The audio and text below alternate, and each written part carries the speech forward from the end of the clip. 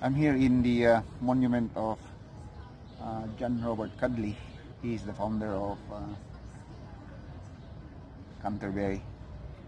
And I want to uh, read my, my poem, which I want to do it this year to, to share because I heard some comments from friends or not even known to me that uh, the poems that I'm making are inspiration to them. So I have this poem that I made dedicated to my son, uh, to our two sons anyway. So the title is I Love You.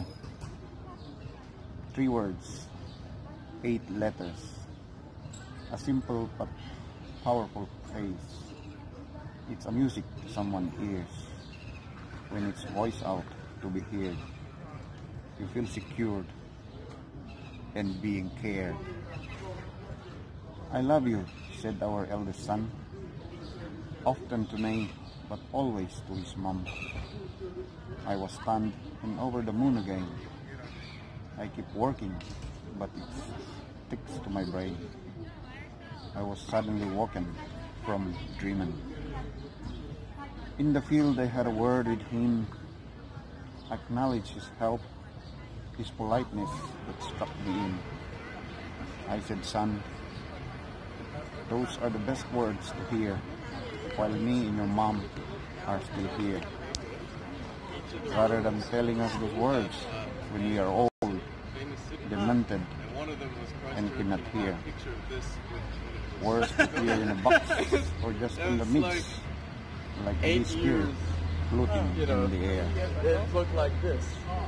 All my life I thought adults were always right, but my son's action and words has taught me an insight. In the mountains we don't hug and offer flowers. It is as long as we are safe and there is food on the table. I have come to learn and think of our kids, our health, and the world are sending us a message. Take a break a decent rest, and a self-reflect. I wish I did that more time and told my oldest the same. We work and work, chasing the dream, but it will never end.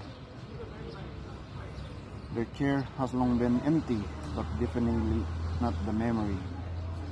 A simple hug, a simple smile, a simple note, and a lengthy call, are you okay? A precious time is now just around the corner for our kids, our friends, and our oldest and families. We love you all. Have a safe and rejuvenating holidays. Take good care of one another. We share because we care. Love you, son. And thank you.